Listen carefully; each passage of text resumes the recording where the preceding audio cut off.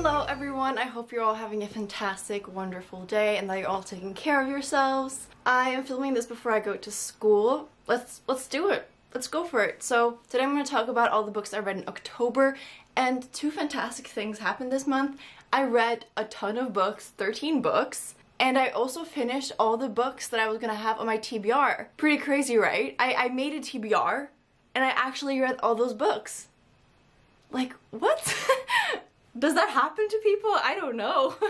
it seems incredible. So let's get started with the books that I read this month. The first book that I read was Five Dark Fates by Kendra Blake. This is the fourth book in the Three Dark Crown series. So this is the conclusion to the story and I was quite disappointed with the previous book because I realized at that point I've kind of grown out of this type of fantasy and I honestly don't remember anything about this book. Like once I finished it I was just like it was out of my mind and it makes it hard for me to review this book because I don't feel like I can give a fair opinion but I was disappointed but I also think it has a lot to do with me and how when books are published like one each year, it's very hard to reconnect with the story and it takes much longer to get into it. There were parts that I enjoyed and I guess it was like a fine conclusion. There's something about the way she writes that I don't agree with the choices that she makes as an author, like the choices the characters make and the way the story goes. It doesn't make sense to me and in a way I think that's why I started this series. I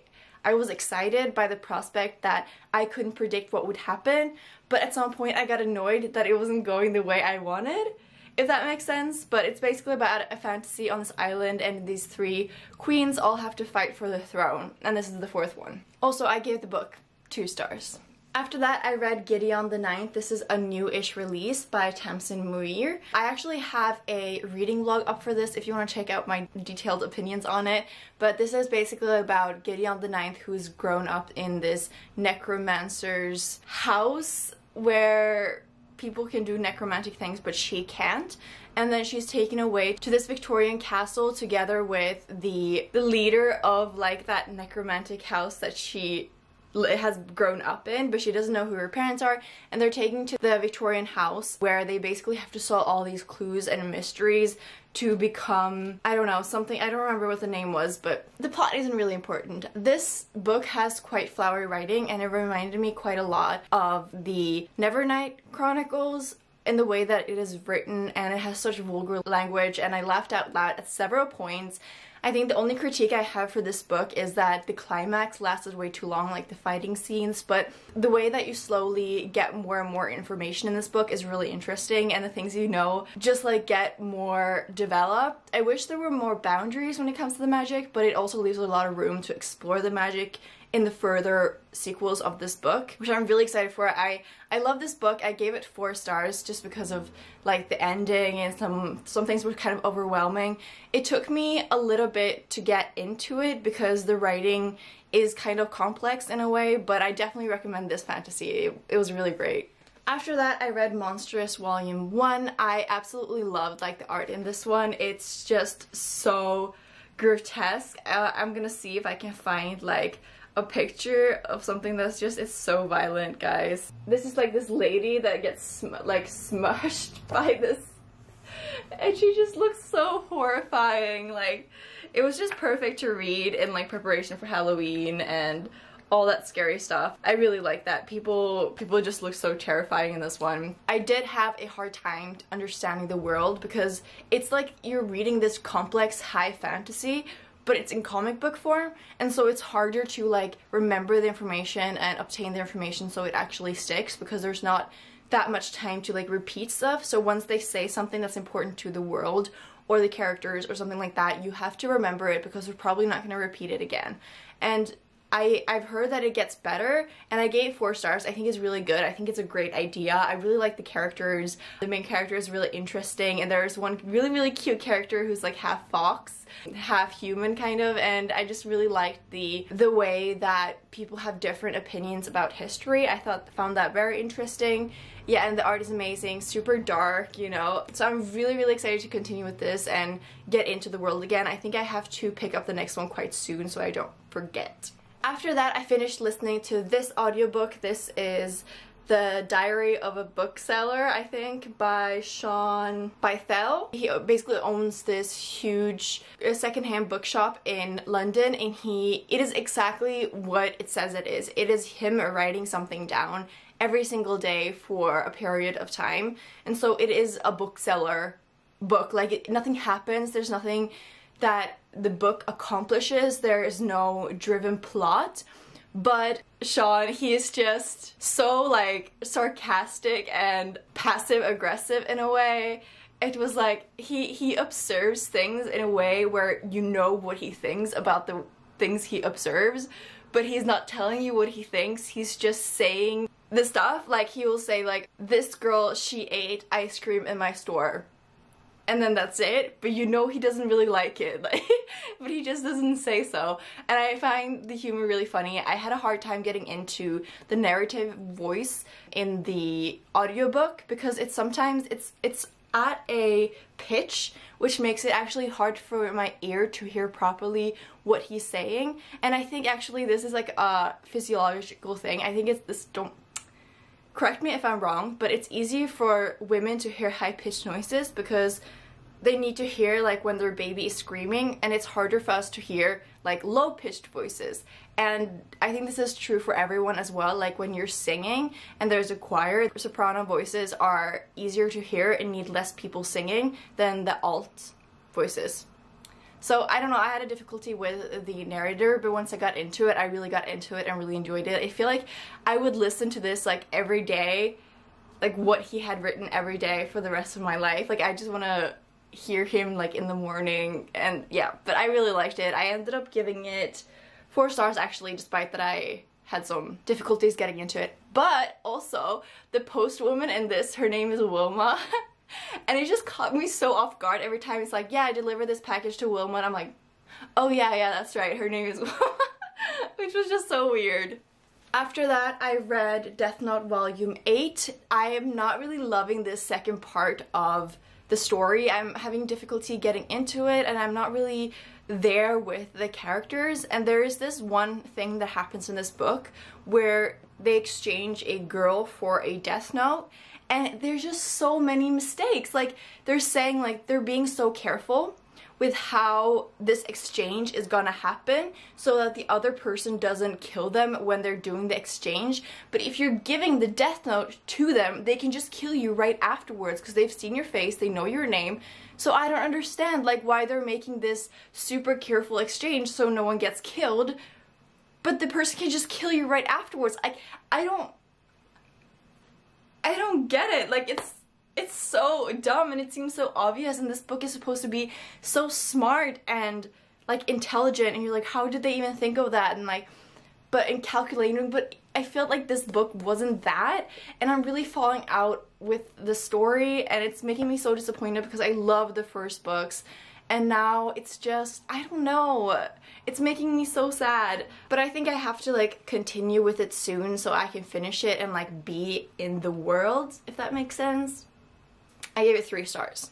After that, I picked up The Near Witch by V.E. Schwab. This is her debut novel and it has like witches in it and that's why I picked it up for Halloween. It's kind of about this small little town and you never get to know anything about the world except this small little town but it does seem like a fantasy in a way because this town isn't really a town that exists and everyone in town have, have always known everyone in this town. Oh my god, I stop saying town. And they never met a stranger, and then a stranger comes in and this child goes missing, and they think that is it is the stranger that took the child, and the main character, who is a young girl, is trying to find the children and protect this new stranger, which she thinks didn't do it. And so the story goes on. I didn't have a problem with this book. I gave it three stars, but it's just first off, I don't like middle grade and I gotta stop reading middle grade because it's just not for me.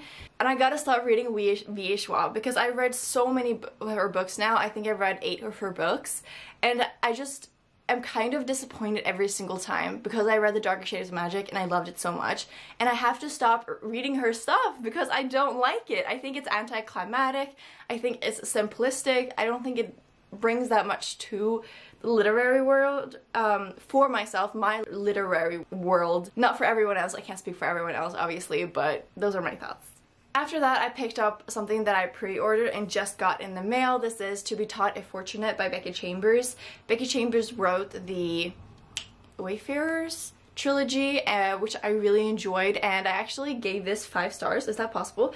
I gave this five stars. It's it is very very cool. It says that it's a novella actually. It's about this ship with these four people, I think, that are sent out to explore extraterrestrial life. Uh, and they are exploring four planets i think and so the book is divided into four sections each when they are on a different planet. And they constantly get these newscasts of what is happening on earth but they always get them five years later. So there is this whole debate about if they should stay updated what is happening on earth or if you just continue on the mission. And there's something about the way she, writes that makes it so human and so I I don't know. I read this in one day, and maybe that's why because I connect with books that I read really quickly. But I just felt really connected to this book, and I really enjoyed it. And I don't know. I think there's something nice. I don't know why I liked it so much, but it was just very very human and I like the ending. I like endings that are leaves it open. I don't know, that's like maybe an unpopular opinion, but I like it when you don't actually know what happened at the end. So yeah, I recommend you check this out. It was like a special small little read, you know? After that, I read another audiobook. This is Turn of the Key by Ruth Ware. I hadn't haven't read anything by her. This is a new release and everyone was saying it was her best work. And it is a thriller, what was it called? Uh, crime novel kind of. So I just kind of wanted to check it out. And it's about this girl who gets a job babysitting at this big house out in the middle of nowhere where she has to babysit these three kids. And the three kids basically hate her and she just kind of has to take the job right away. And at the same time she's writing this letter from prison in the future telling her that telling you about what happened because she's trying to get a good lawyer. So I gave this book four stars. I really enjoyed it. It's like an easy read. Like it's just enjoyable if you like thrillers and that kind of thing. Like it isn't something special. I gave it four stars. I really liked it. And I liked the resolution I think. Like the big reveal. I, I thought it was quite good, but it also seemed kind of like simple, but in a way I like that too. So those are all my thoughts on it. Next, I read Alloy of Law by Brandon Sanderson. This is Mist Mistborn Era 2, first book in this trilogy, and these books are definitely much shorter and you're following two new characters many, many years later than the first books, and now like guns and cars and stuff are invented, so it's a definitely like a different feeling, more like a steampunk fantasy feeling in it.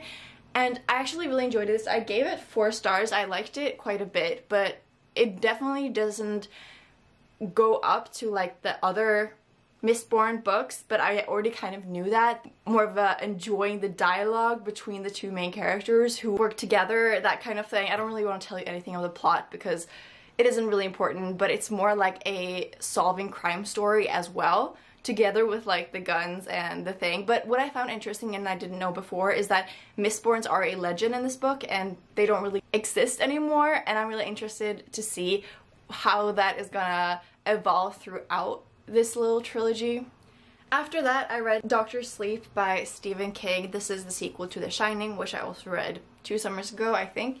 And just like then, I really liked it. This is more like magical realism actually, and it's quite like a different story, but I really liked the magical element in this book and compared to The Shining this one isn't scary at all in my opinion. It's really more like magical realism. It doesn't definitely has like scary elements but it isn't horror in any way, uh, in my opinion. I actually like this one better than The Shining. I just know that Stephen King isn't for me, and I think that's okay. Like, I, I can see how good his writing is. Like, objectively, I really get why people really like his stuff, but it's just not for me and I did enjoy it. I think I even gave it, oh I gave it three stars but it was definitely worth the read and if you like even magical realism maybe you'll enjoy this like a mix of horror and magical realism. It is basically about Dan Danny when he grows up, so the little kid in The Shining. He becomes an adult and he becomes just like his father, an alcoholic. And then he meets this little girl, Abra, that also has the shining ability and this whole book basically revolves around the ability The Shining, and that's that's kind of what this book continues to explore. And if you like that element of The Shining, I definitely think you should check out the sequel. After that, I read Frankenstein by Junji Ito, and this is a manga adaptation of Frankenstein, and it also has some other short stories. And the Frankenstein adaptation, I was so disappointed with. Everything that is great about Frankenstein, the the writing, the way the story is told, and the, the elements that make the story great were completely lost in this adaptation, in my opinion.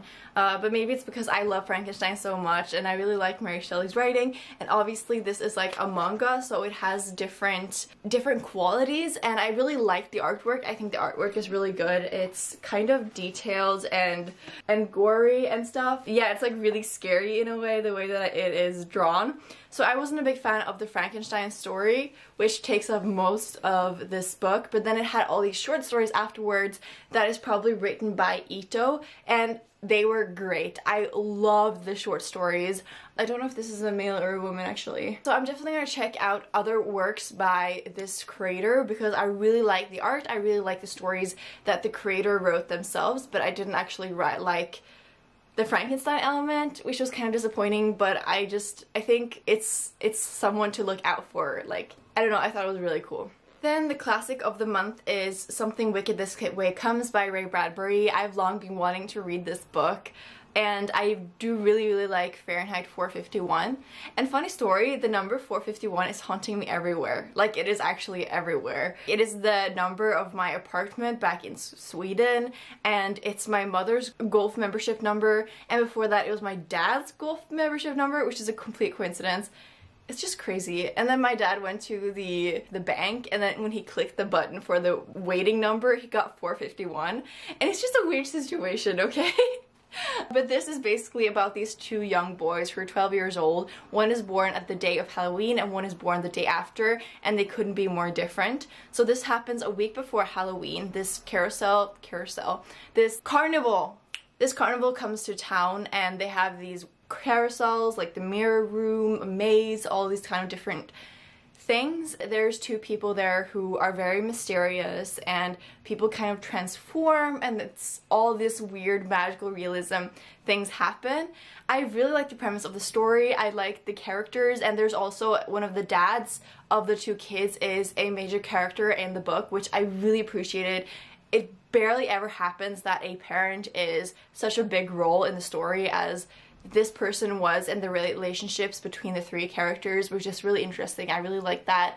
The writing is extremely, extremely flowery and very descriptive and there's just, I highlighted so many things because I think it's a very beautiful and unique way of expressing oneself and I really like that but it just was so much that I could appreciate the beauty of it, but it was almost like poetry, so it made me hard to connect with the story because it was like over the top. So in a way, I really liked it because it was different and it was refreshing and it was very creative and inspiring way to write and to experience, but it made me distance myself from the characters. So it was like good and bad and there was definitely like a lot of clock and time similes and I'm not really sure what it meant but I really liked that I had like a running thread throughout the whole story. It felt very anticlimactic and I didn't really feel like there was so much at stake even though there was and I think that was something worth the writing as well.